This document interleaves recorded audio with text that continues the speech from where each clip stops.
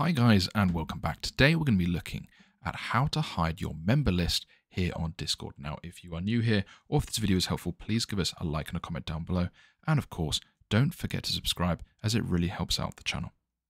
Okay so as you can see we are here in our Discord and we have a few people joining.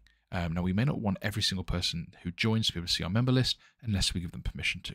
So all you need to do is go to the very top and click on your server settings as you can see we have right here as soon as that has loaded up, you want to go all the way down to roles, and then you want to select the role for anyone who does generally uh, enter in. So that will be anyone who, who joins in. So for example, we have creators here, um, or we have a default permissions, for example. So we'll go default permissions and we will go to uh, team player. Okay. We then click team player and we change the permission from view channels to no.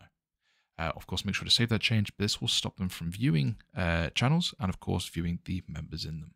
So I hope this was helpful. Thank you for watching. And, of course, don't forget to like and subscribe.